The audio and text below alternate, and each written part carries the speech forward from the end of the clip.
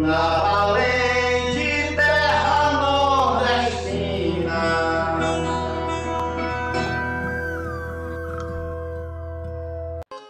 Para o correspondente do jornal à noite, informações transmitidas por Martinho Malta, da Fazenda Mucambo, assaltada no dia 9 de abril de 1931, informava que o grupo de Lampião tinha 15 componentes, sendo seu braço direito o cangaceiro Corisco, e a maioria destes utilizavam principalmente roupas de mescla.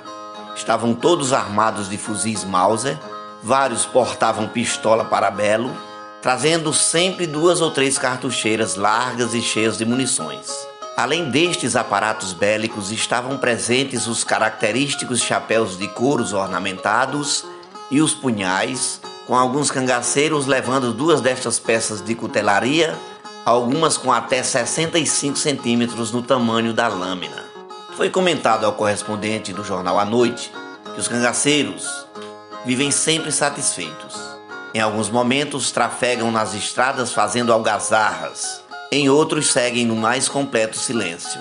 Fazem brincadeiras uns com os outros, descompõem-se, normalmente se excedem, mas mantêm muito respeito pela figura do chefe Lampião.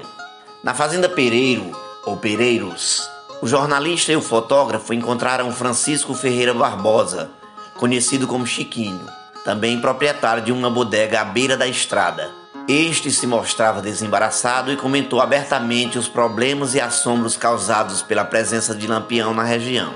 Narrou que eram duas da manhã do mesmo 9 de abril de 1931, quando Lampião chegou.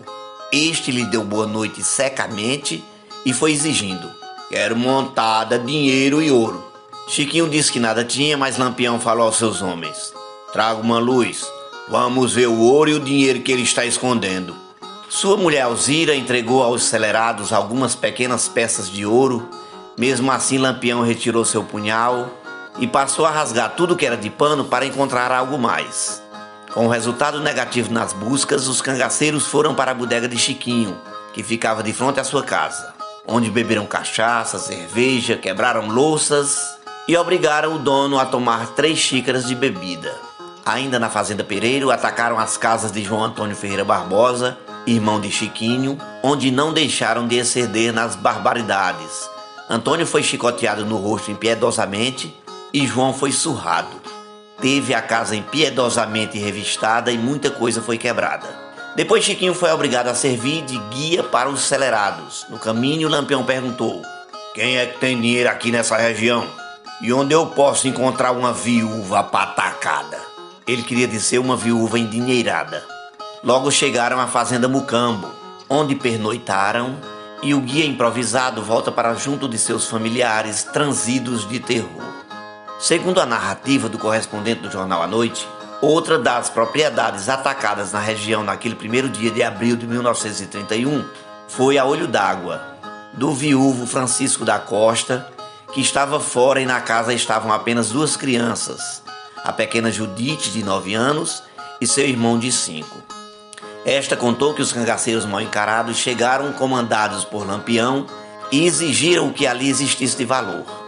O irmão menor tentou fugir, e foi detido por um cangaceiro com seu fuzil. Os cangaceiros levaram um relógio, algum ouro e uma pequena quantia em dinheiro. O correspondente encontrou as crianças aos cuidados de uma tia na cidade de Senhor do Bonfim e esta informou que Judite e o irmão estavam em um estado nervoso de fazer dó, o que hoje modernamente denominamos de traumatizados. Já no dia 21 de abril, vamos encontrar os dois homens do jornal à noite seguindo pela estrada que ligava Senhor do Bonfim à fazenda Riacho Seco. Quando alcançaram o lugar Caldeirão, seguiram em demanda do sítio Vargem Seca, onde deixaram o veículo. Percorreram a pé por 4 quilômetros até o sítio Junco, onde o proprietário Manuel do Quinto acompanhou os visitantes por mais outros 4 quilômetros até finalmente chegarem à Fazenda Passagem. Ali souberam que os cangaceiros se apresentaram ruidosamente por volta das 9 da manhã e foram direto para a casa de Joaquim Gomes Cardoso, que possuía problemas físicos desde o nascimento, que deixou com uma diferença no tamanho de suas pernas. Pediram ouro e dinheiro, mas Joaquim respondeu que nada tinha, por ser um pobre aleijado. Isso nada impediu que Lampião lhe roubasse uma cela. No que Joaquim tentou demover o chefe cangaceiro do seu intento, pois não podia andar corretamente e precisava daquele material para seus deslocamentos nas regiões em um magro jumento, o resultado foi uma terrível saraivada de chicotadas dada por um dos cangaceiros presentes. Para parar a tortura naquele indefeso deficiente físico, o cangaceiro que batia disse: Se quiser que eu pare, tem que chamar Lampião de papai. O correspondente de à noite perguntou se Joaquim disse aquilo e sua resposta foi até engraçada. Ora, seu moço, e quem é que não chamava? Eu diria que ele era pai do céu, quanto mais meu pai. Na reportagem, outras quatro casas foram visitadas na propriedade Passagem, com a mesma repetição de saques e surras. Os dois enviados do jornal refizeram todos os oito quilômetros na volta até o veículo e seguiram para Senhor do Bonfim e de lá para a propriedade Cachoeirinha, onde uma família estava ali refugiada era a família de Bertoldo Cândido dos Santos, que apresentou relatos ainda mais chocantes sobre os momentos em que os cangaceiros estiveram na Fazenda Passagem. A mulher de Bertoldo, Dona Maria Martins, contou que no dia do ataque só estava em casa a sua filha Romana, conhecida como Bizunga.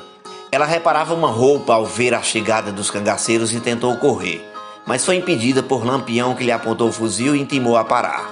Na mesma hora, o chefe disse a dois de seus homens: Venham ver que coisa bonitinha tem aqui. Mandou seus comandados tomarem conta de Romana enquanto foi averiguar o que acontecia nas outras casas da Fazenda Passagem. Um dos homens ainda pensou em avançar na moça, que possuía feições bastante generosas na opinião do correspondente, mas foi impedido pelo companheiro por medo da reação do chefe. O enviado do jornal à noite afirma que no retorno de Lampião à casa da jovem sertaneja, aparentemente sem maiores delongas, este partiu para cima de Romana e a violentou. Ela ainda foi ferida a punhal por tentar se defender. Não foi informado se outros cangaceiros se aproveitaram sexualmente da jovem defesa. O correspondente afirmou que a irmã de Romana havia escapado por se encontrar fora de casa, mas em sua opinião o ataque violento àquela garota havia desestruturado de tal maneira a sua família que seu pai Bertoldo estava com características de quem estava variando, ou seja, ficando louco. Mas este flagelo não ficou restrito apenas à romana. O vaqueiro Manuel Cândido, ainda aparentado de Bertoldo, teve a casa invadida e a mulher igualmente violentada pelos cangaceiros. O material iconográfico existente nas reportagens aponta que a atuação do bando de Lampião nos sertões baianos naquele primeiro dia de abril de 1931 foi principalmente o ataque a pequenas e simples propriedades e lugarejos, Talvez o número reduzido de cangaceiros não trouxesse a Lampião a devida segurança para atacar locais maiores naquele período.